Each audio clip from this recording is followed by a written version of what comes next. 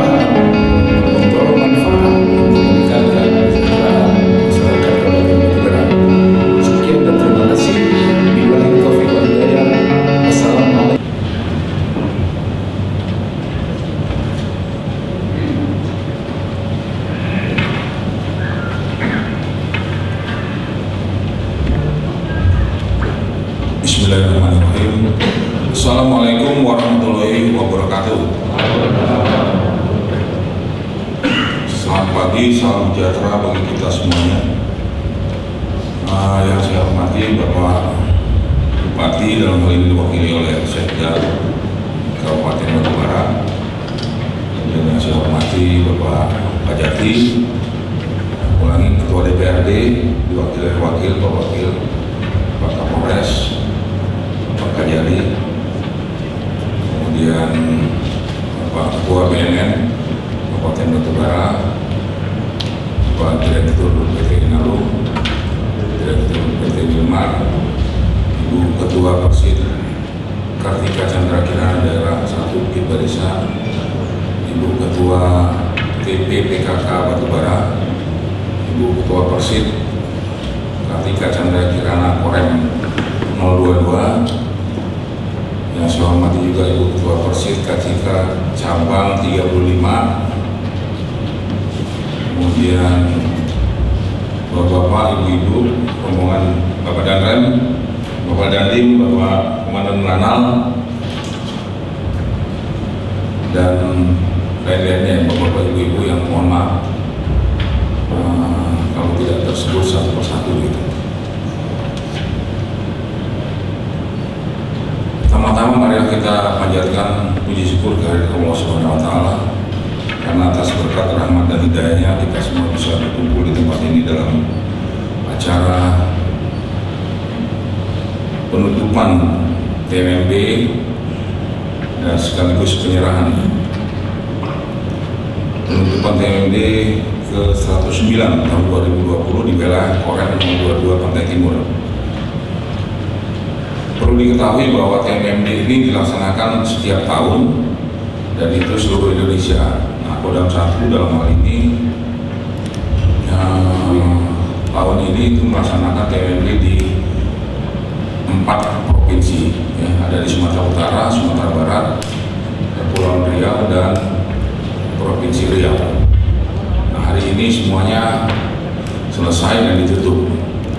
Kebetulan di Sumatera Utara ini saya bagian apa diarahkan untuk kemari oleh Aster untuk menutup di sini.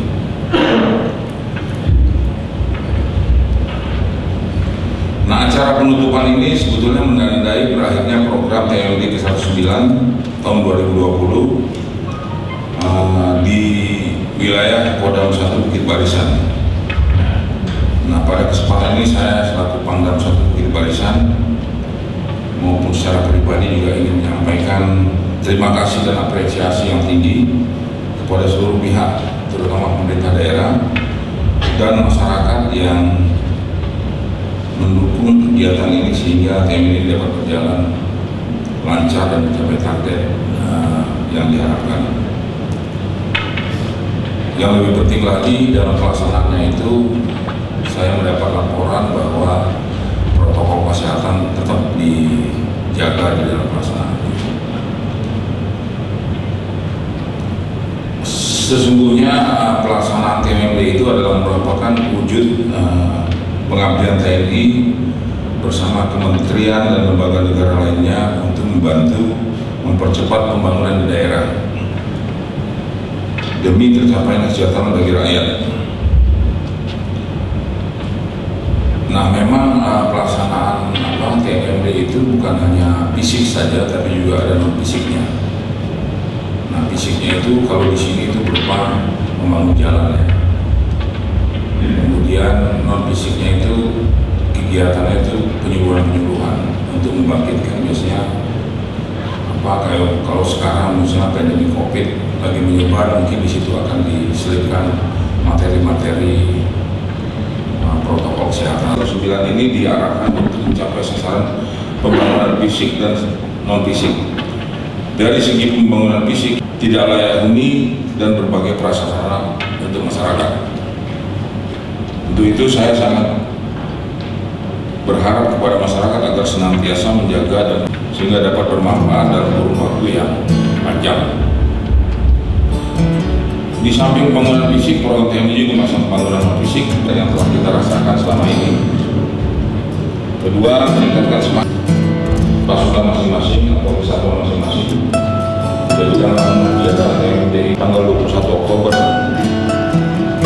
2020 pukul 09.30 109 secara resmi saya nyatakan tutup. Demikian uh, semoga Tuhan yang Maha pada negara, bangsa dan masyarakat yang kita cintai bersama.